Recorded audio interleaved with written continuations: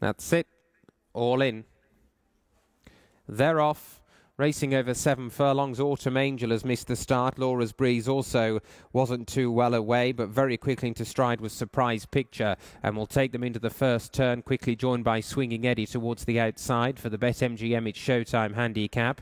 Racing third towards the outside, Dion Baker, and Cove Harbour was just dropped in behind them into a share of fourth position as they level off. Accompanied on the running rail by Lewis Barnes and then a length and a half, Tipperary Moon, the yellow and black, racing with Fly the Nest. Pessoa nose banded down on the rail just in front of Laura's Breeze, and Autumn Angel is the back marker as they race on towards the half mile pole. And the lead is with Dion Baker and Adam Farragher going into the far turn in front by a length and a half to Surprise Picture on the outside of the rail running Swinging Eddie. A length and a half to Cove Harbour in fourth place in company with Lewis Barnes. Then Tipperary Moon is being ridden along. Pessoa in red and black on the rail will have to past several rivals. Laura's Breeze, Autumn Angel in behind. Fly the Nest dropping back to be last of all off the turn. Surprise picture ranging up and going on from Dion Baker, swinging Eddie. Cove Harbour. Pessoa is right down the centre of the course. Then Autumn Angel in behind those. Surprise picture got first run and is clear for Billy Garritty. Pessoa's moving in the second place. Autumn Angel from the back,